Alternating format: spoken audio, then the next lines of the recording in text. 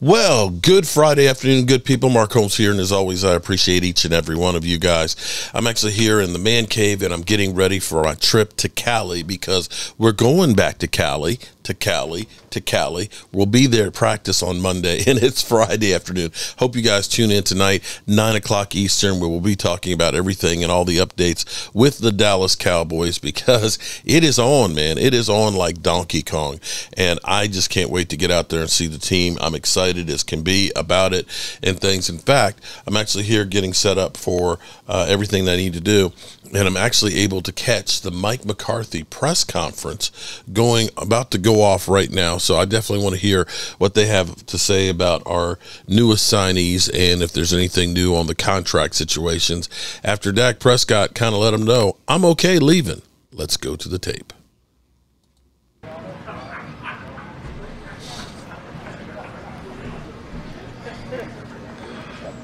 for a guy who's on the hot seat, he doesn't seem to be like he's too upset about it. All right, guys, ready? I'm ready. All right, good morning. David? Good morning. Good morning. Mike, David Moore, Dallas Morning News.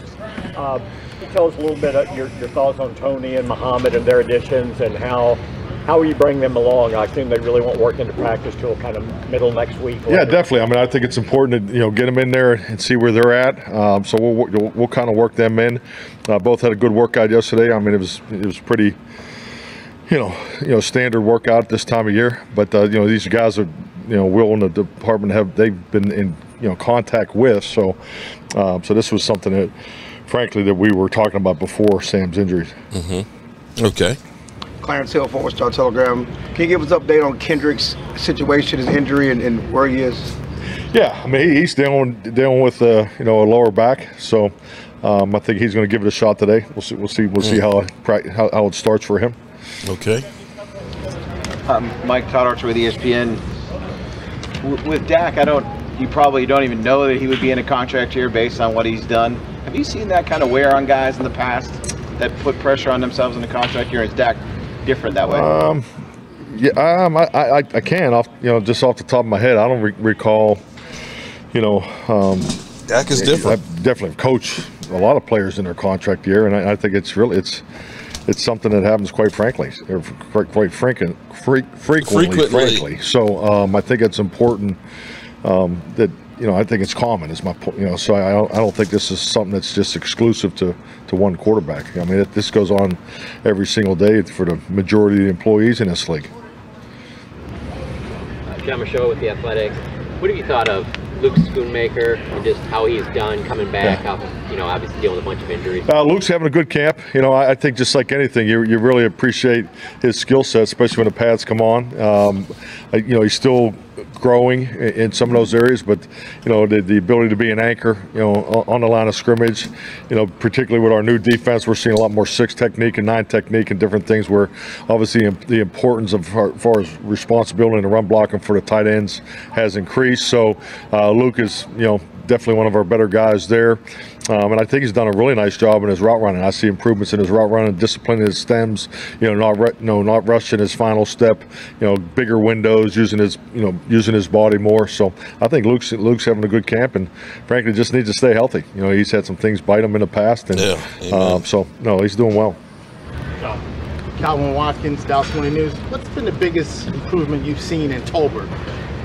Oh, just I I just think um, everything. Uh, I, I think he's just really completed his game. I, I- think just like any young player that comes into the league, you know, in his case particular, you know, after his rookie year, he's like, hey, I got to get stronger, you know, and and I got to play more physical. And and I'm not just talking run blocking. I'm talking about in his route running, you know, particularly when he gets to the top of his stem and the breaking point. So, yeah, I think JT's taking a big, big step, and um, he's one of those young men that you know, he's in there every day. Uh, he's always looking for work. I mean, travel the country, uh, you know, in, in that off time. So does all the little things, and uh, you know, he's a true, you know, true professional, and had it, it you know, and frankly arrived here with that. Um, so I can recall his rookie, his rookie training camp, you know, on off days, you know, looking for assistance and the detail in his note taking. I mean, he had a he had a notebook that was, you know, pristine in that area. So um, and now we're seeing the benefits of that.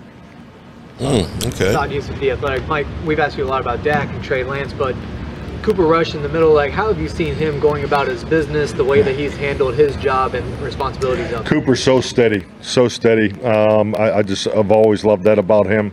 Uh, he's the you know personality wise is, is exactly how he how he plays, and and I think it's a real credit when you see a veteran with the, with with that presence, you know that that, that confident, quiet presence that he brings, uh, and he steps in the huddle with the young guys, you know, and the ability to talk through with the young guys, spend the time with the young guys. So, yeah, uh, super super consistent. Uh, obviously, extremely bright, knows the offense inside and out. But I think he's in a really good rhythm, you know, right now. And um, you know, frankly, I think this is the best shape I've seen him in, you know, physically. So you're seeing all the extra work that he's putting in has paid off difference between guys like Trey Lance, who is a young guy who might still have starter potential, versus Cooper Rush, a veteran who's kind of locked into that backup role? Like, how, how do they approach practices in that way?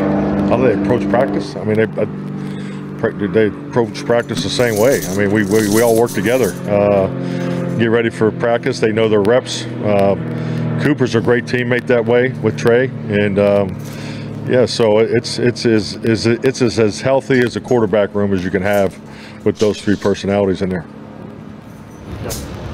Jeff Cole with Fox 4. Uh, Mike, what impresses you most about the way that Tyler Smith, at 23 years old, handles his business, and how important Tyler is, is a the beast. changes on his left and right this year? Well, just just watch his arrow as he's climbed up the ladder, um, and going back to his rookie year, you know, to, to to put him in the spot that we put him in. I mean, it was obviously something I, I know I didn't prefer to do.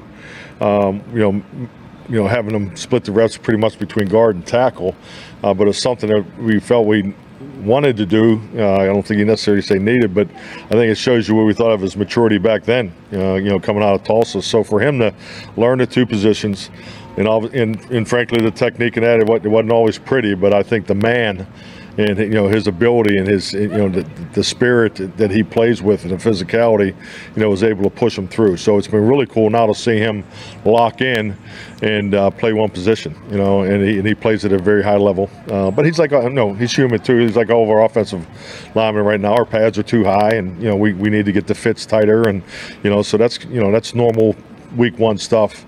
Um, but yeah I, I, I think Ty is going to be a, a top level great player in this league for a long time Patrick Walker, DallasCowboys.com. Circling back to the tight ends outside of Jake and Luke, um, you guys are getting back John Stephens Jr. You have Peyton Hendershot, add Alec Holler, Brevyn Spann. You got a lot of tight ends right now. Can you talk about how the competition is hap- is going behind Schoonmaker and Ferguson? And is there anyone that's jumped out? Already? Well, they all have. No, I do. That, that's a really, really good, deep, you know, young group. I mean, there's, I mean, all those guys will play in the league, in my opinion. You know, and I, I think when you project young players like that, you can get out in front of yourself. But no, that's that's that group is going to be fun to watch. Uh, and then, you know, we always got to talk about special teams when we when we, we talk about those guys because that particular body type you can't have enough of on special teams. So yeah, I mean, we can go through each guy. I mean, I, th- I think they've all, you know, we do the, we do uh, uh, video, um, you know just reminders and things when we get together as a group in the perimeter and you know all those guys are on those tapes. And I you know that's not normal to see young players make that tape. So I mean John's done some really good things. Princeton's you know particularly once we put the pads on that's where you know his game comes comes to light a little more. And you know the young cats are smart smart instinctive players. So I do want to see more padded work but those guys are, are doing a really nice job. It's going to be it's a very competitive room.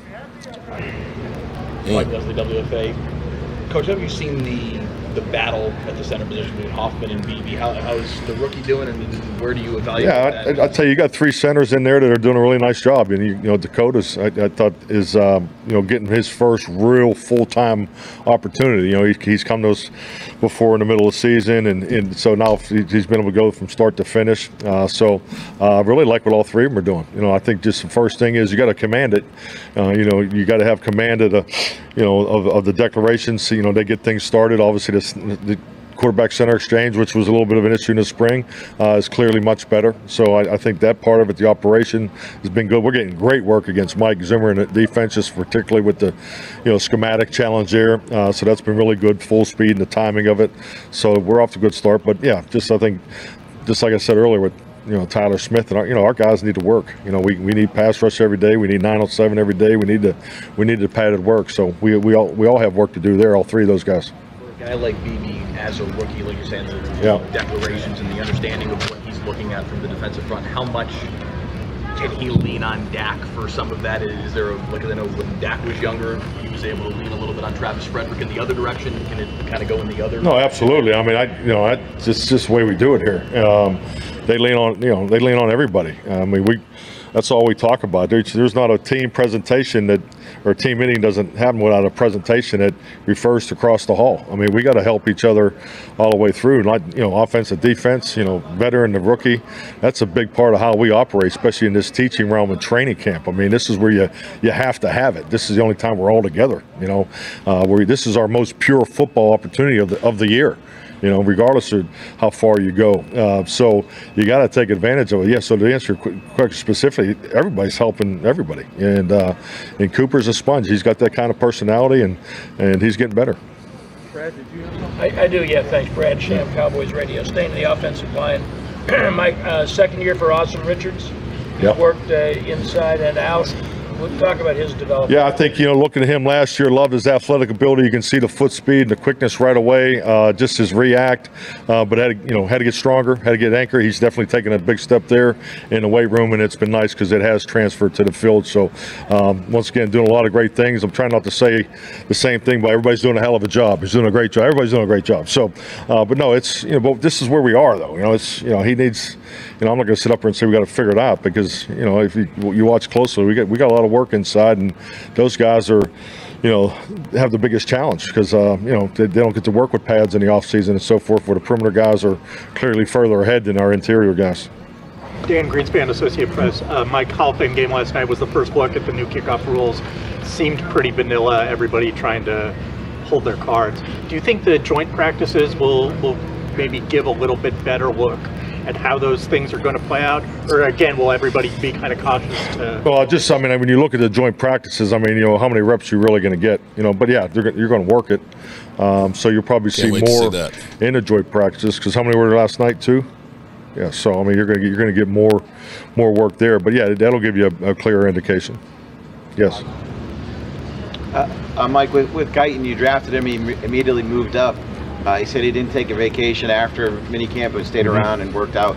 Did you guys know of that? Ser- is that a seriousness of approach that you knew of uh, when, when you Yeah, definitely. I just, you know, one one thing I recall, and, and and Will could probably speak on it in more detail than, than myself, is, you know, the position coach, and then you know Mike Solari's visit up there uh, to Oklahoma, and it just a you know a consistent message of, you know, how they felt that you know his his preparation this year was top notch, and you know, and, and you look for that maturity in in those prospects, and and, and you know you rely on you know uh, opinions of others here, but so yeah, that was definitely something that was I, I know was mentioned in the reports. Have you seen that?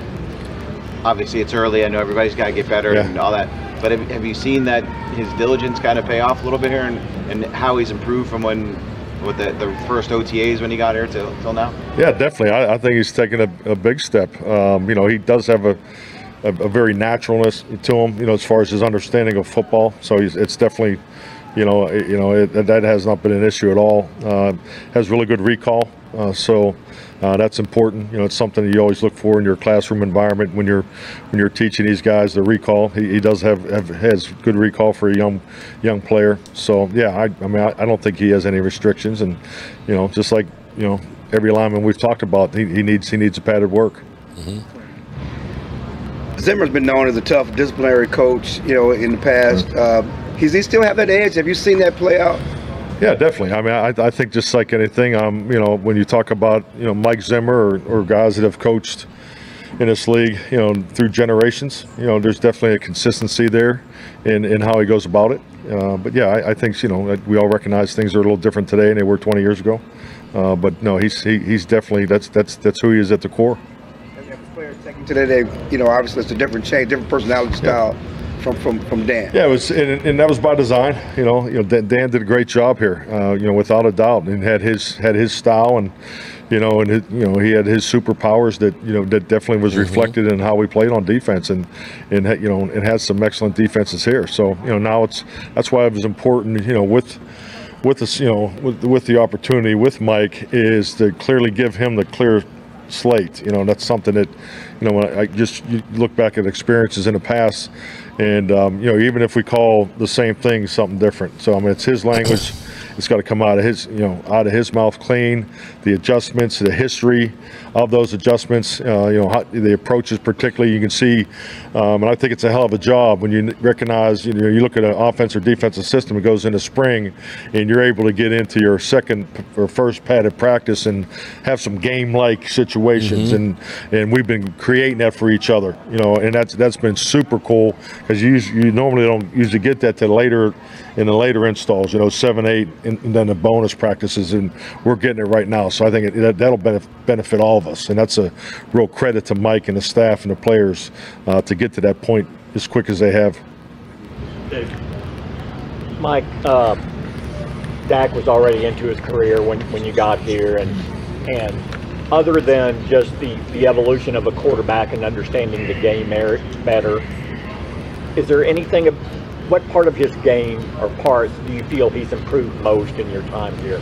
I think he's improved in, in most most all the all the areas, and that's what I really appreciate about him. He's always working on his game. I mean, you can break it down in the pocket and out of the pocket. I mean, you look at look at his footwork, uh, just some you know the adjustments from you know the system before to now, and, and some of the, the new footworks that uh, are just the emphasis of particular footworks over you know what he's done in the past. He really likes that. Um, he's he's done a really good job with that. You know, I, I look at his his flexibility, you know, in his shoulders and elbows, and you know, I, I think his you know his his partner Luke Wilson there, you know, it's PT that work, works with him is uh, does a phenomenal job there. The flexibility, you can see the different arm slots, throws that he that he does on a daily basis. So I you know I see some improvement there than you know 2020.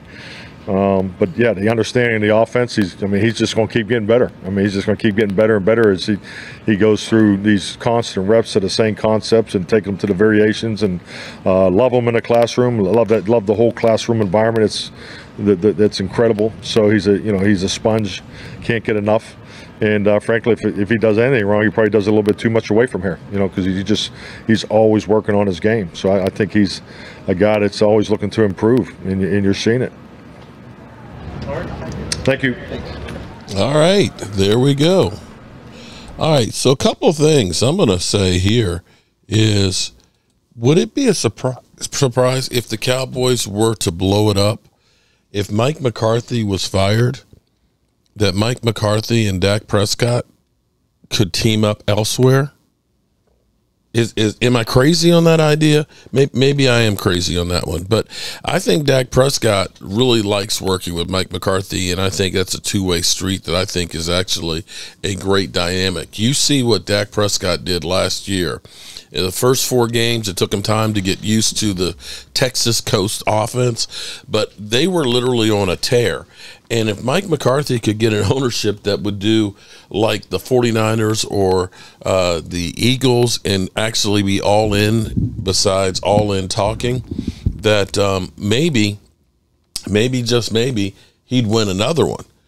You know, as much as people have been killing the Cowboys for years of lack of off off season moves and bringing in free agents, the Cowboys are still up there. I know everybody's talking about we're not winning Super Bowls and things, but I have to say, I don't see the Eagles have not won a Super Bowl either. Buffalo has not won a Super Bowl either. Lord knows the Jets have spent a boatload of money, ain't even sniffed the playoffs, but yet they're still there playing well. Just imagine if they actually went all in. A couple of things. Um, Eric Kendrick is going to try and give it a go today with the sore back. That's not a good thing. Uh, Shoemaker is definitely beginning to turn some heads, and at, at the moment, as Mike McCarthy put it, that he's staying healthy, which is helping. Jalen Tolbert has gotten stronger and has really worked on his route running. And what I would like to see is, you know, Jalen Tolbert first year was a disaster. Last year, in the opportunities that he had, he actually played better than Michael Gallup, but didn't get the opportunities because the Cowboys were trying to uh, justify the cost that they spent on Michael Gallup. They had to use him, and it was a disaster. Had they not spent the money on Michael Gallup, and they would have let him go, and I think Jalen Tolbert would have gotten a lot more experience. But you definitely see the maturation of him. Um, if we could see that same kind of step up from Schoonmaker, that would help us tremendously. But we do have a deep tight end room, and I hope to see a lot more of 12 personnel would be fantastic because you know how I love 12 personnel is very personal to me, uh, yeah, so to speak. All right, good people. It's going to be a busy, busy day, and you know, get get get ready to get sick and tired of seeing me. Get sick and tired of seeing me. I have to go over at some point and take care of a breaker for my mother uh, for garage and things, and get uh, things packed. But from here on out,